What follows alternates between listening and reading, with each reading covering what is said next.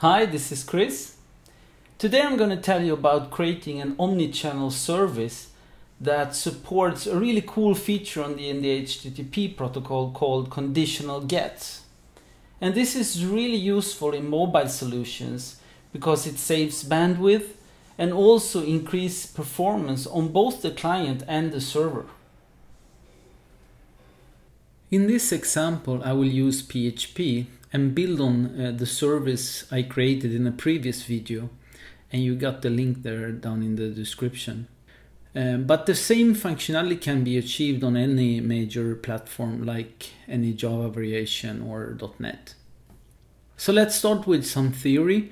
The basic idea is that the first call to the server is made as usual and the response from the service include the requested data and the normal OK or 200 uh, HTTP response code.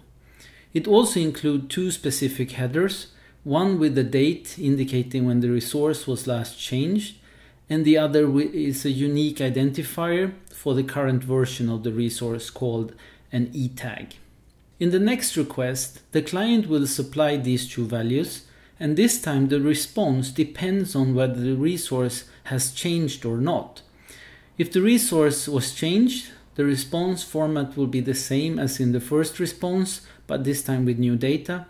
But if the resource was not changed, only the not modified or 304 HTTP response is returned without any data in the body.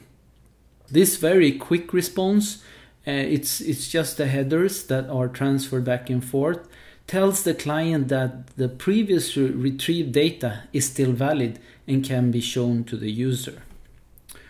Okay, so uh, it's time to create a service that implement this. And as you can see here, uh, it's the original code that has been modified from the previous video. And we start by getting the XML on line 2 and 3. Then we set the default time zone on line 4 and we get the date when the feed was last changed from the XML on line 5. We create an e-tag by making an MD5 hash from that date on line 6 and set the two headers on line 7 and 8.